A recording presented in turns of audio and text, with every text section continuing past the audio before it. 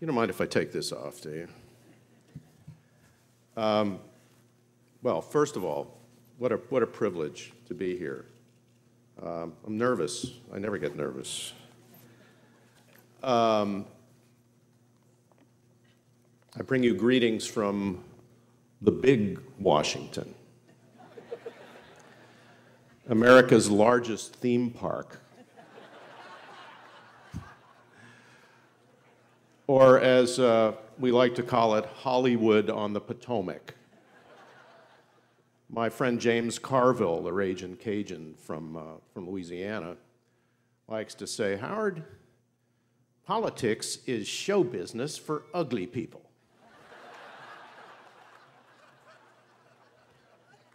so I'm glad to get out of that city of ugly people to be here in Little Washington, uh, a place I've known all my life and a place that I treasure, as do you. Uh, the first thing I want to say, of course, is this witchy quacks. How did I do?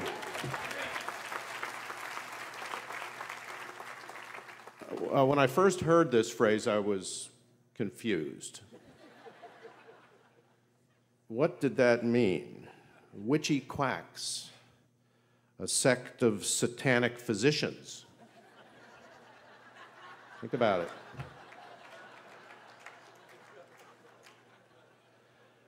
A flock of demonic ducks.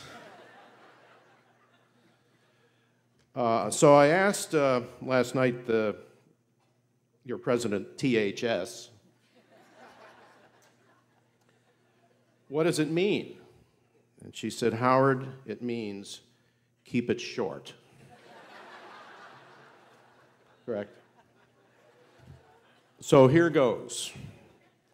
President Haring Smith, distinguished trustees, fellow honorees, and by the way, can I just say the honorees are, their records are remarkable, and I'm so honored to be among them. The esteemed faculty, uh, beloved parents, and of course the already hammered members of the W&J class of 2015.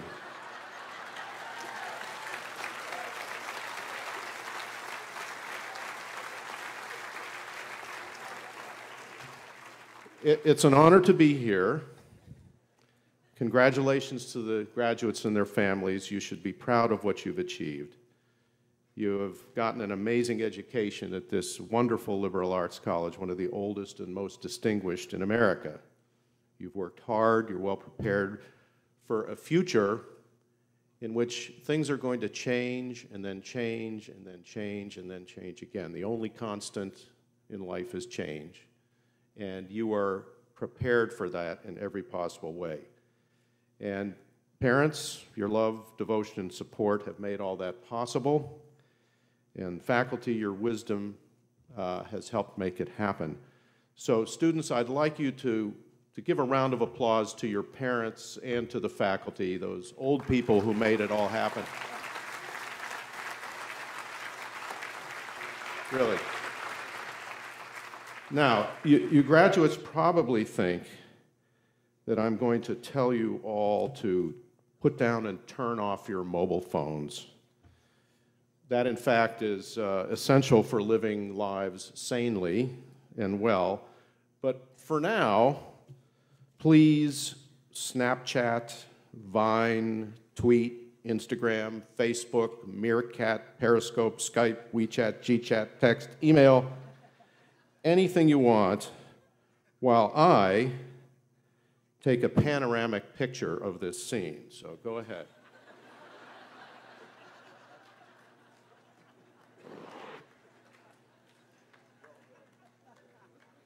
There you go. That's going up on my Twitter feed momentarily. Anybody who wants to periscope this live, please feel free. Uh, there are two objectives here. Number one, we want to go viral here in Washington County, Pennsylvania. And the other is it's for the benefit of the students because it's the only way you're going to remember anything that happened at this event. Uh, I come from the land of presidents.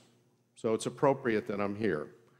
Uh, the, until today, the greatest number of presidents that I ever saw at one time was in the White House in the East Room in 1991. I just started covering the White House for Newsweek. President George H.W. Bush invited all the living presidents to the White House for a reunion. It had never happened.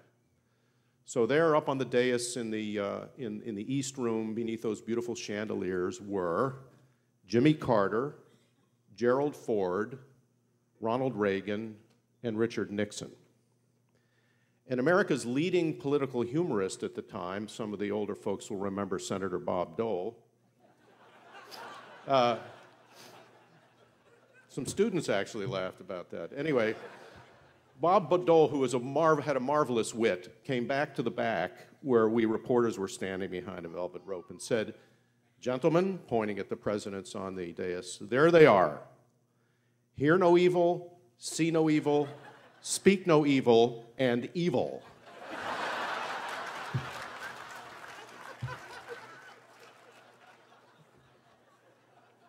So now here I am, there are hundreds of presidents around. These are all presidents I'm seeing. Uh, and by the way, uh, hat tip to the, uh, to the class of 65. You guys look great. Uh, really.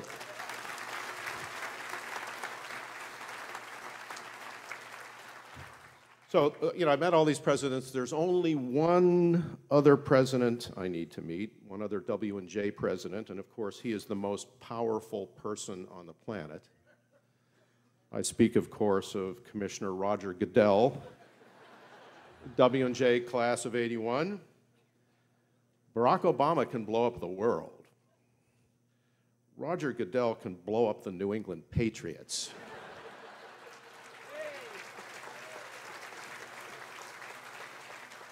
That is the power of a W&J education. So, uh, why am I here? Well, I'm from Pittsburgh, that's number one, and very proud of it, as was said. Uh, that was no achievement on my part, it just happened. Uh, kids from my high school, Taylor Allderdice in Pittsburgh, attend W&J. We know about it, we've known about it since I was a kid. Uh, I believe in travel, uh, and in the world of travel, digging as deep as you can. I had a fellowship, as did THS, um, that is the model for the Magellan Fellowships here. And um, there's nothing better than uh, actually putting down your phone and going. And just as she does, I believe with all my heart in the kind of education that you got here. And I want to speak not only to you, but to the faculty. Uh, yeah, there's online education. You know, you can take a MOOC with somebody from Stanford or Harvard. That's great. But I believe that real education still involves face to face, person to person, heart to heart. And you have the privileged students of having uh, obtained the fire, if you will, from the wisdom of the people here. That to me, in a small community, uh, with a real thriving sense of community, which this place obviously has, you can just feel it, it's palpable, uh, is to me what makes undergraduate education.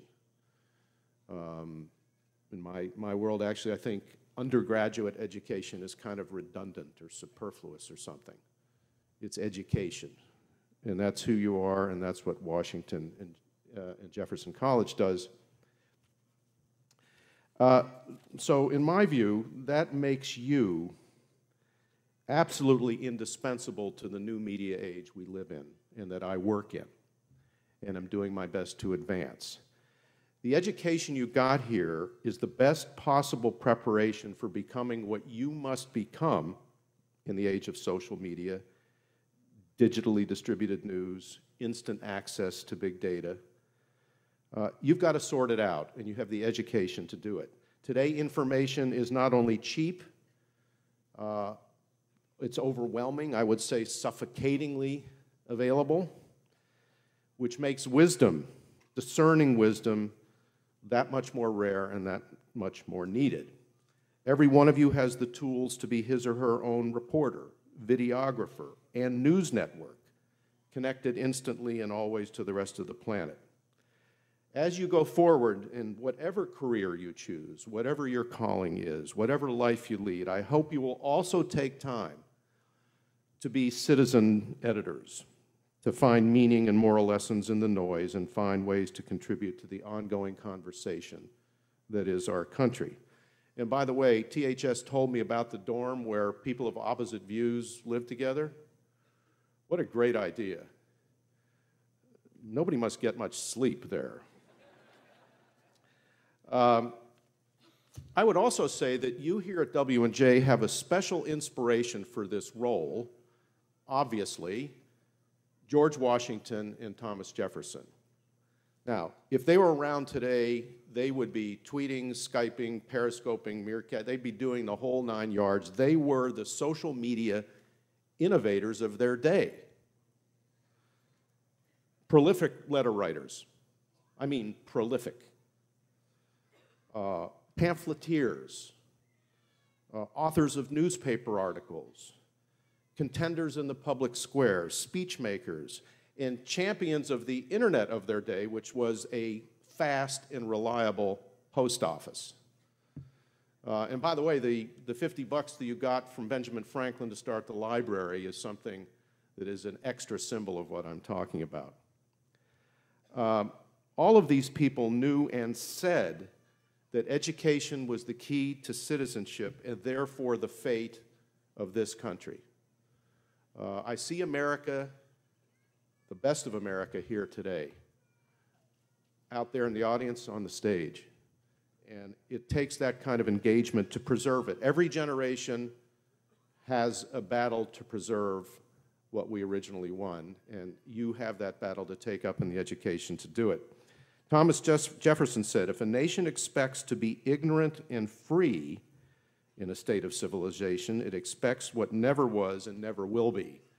And he almost also famously said, if I had to choose between a government with no newspapers or newspapers with no government, I would not hesitate to choose the latter. Uh, that's a favorite quote of everybody in journalism, even if it isn't necessarily true. Uh, okay, now the first thing you got to do is figure out the 2016 election. Now I'm speaking to the, especially to the graduates. And that's because you're ground zero of the 2016 campaign. Uh, just the other day, I was talking to the leader of the Clinton effort, and I've talked to a lot of Republican campaign managers as well. Everything else is pretty much sorted out. You are you millennials, and you're the sort of the last of the millennials, are the undecided of the undecided. In 2008 and 2012, you were crucial in deciding those elections. Uh, the Republicans want back into the conversation uh, there's going to be a ton of money spent and a lot of effort given over to winning your vote. The campaigns and the billionaires who fund them will want to convince you, to woo you, to inspire you, but maybe also to confuse or depress you. They will want to tell you some truths, but they'll also want to tell you something lesser than that.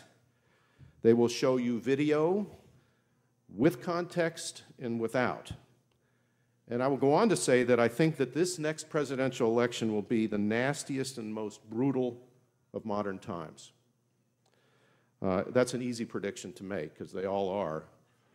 Uh, but this one I think especially so.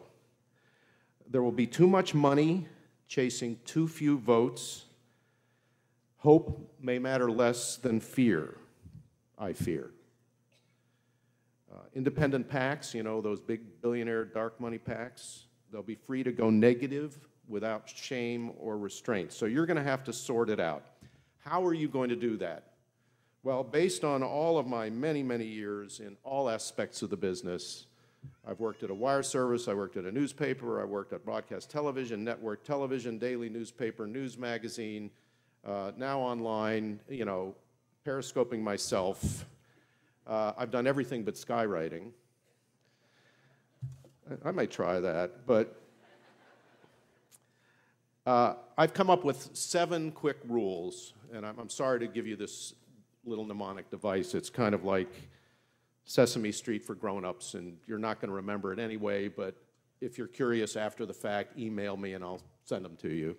I call them the seven C's, and not as in oceans, but as in the letter C. Uh, and here they are. Number one, curiosity. You learn how to do this. Always ask why. Always seek more knowledge. Educate yourself, and I would say here, yes, put down the phone. Go there. I had a journalism professor whose simple uh, epigrammatic advice was go there. Meaning, if, be curious and go there. That's what the Magellan program does. It's symbolic of this college now. Do it on your own. Those are words to live by. Two, critical thinking. Never assume anything. Do not assume. Be skeptical, but don't be cynical, because cynicism is, is lazy, intellectually lazy. It's a form of shutting yourself off, it's a form of closed mindedness. Context is number three. Try to put everything you consume in the media into a larger context. Uh, that means talking to people face to face, and it means deep diving using big data. Uh, learn about it, figure out how to use it, which I'm sure has been a part of your education here. Number four is be calm. Calm. And what I mean by that is that the world of media around you, and indeed the society around you, is operating at an ever faster and faster pace uh, to the point of making everybody crazy. Everybody, there's so many people leaping to conclusions that they're leaping off the nearest cliff. Stand back, be calm, calm down, be considerate. And by considerate, I mean take consideration of things. Number five, compassion. Nothing is worth communicating or knowing that doesn't relate somehow to the idea of love and justice in the world. You don't know things just for the sake of knowing them. You know them to make things better for your family, for yourself, to realize your potential for the country, for the world. If you can't empathize with your fellow man, you can't understand and act upon the information you are taking in. Number six, connect. That is, once you've figured something out to your satisfaction, say it out loud. Get in the conversation. That's what I wrote my book about. That's what I think American democracy is about. You've probably heard the famous injunction of the writer E.M. Forster, who, who summarized the work of life in two words. He said, only connect. And last but not least, the seventh C is conscience. You need an internal moral compass to discern what's important. Some call it a soul, some refer to a sacred text. Someone else we revere here at W&J had this advice. Labor to keep alive in your breast that little spark of celestial fire called conscience. It's a beautiful statement, and you know who said it George Washington. When he did so, he was a young man about your age. He was a student heading out into life. W&J has lit that celestial fire within you.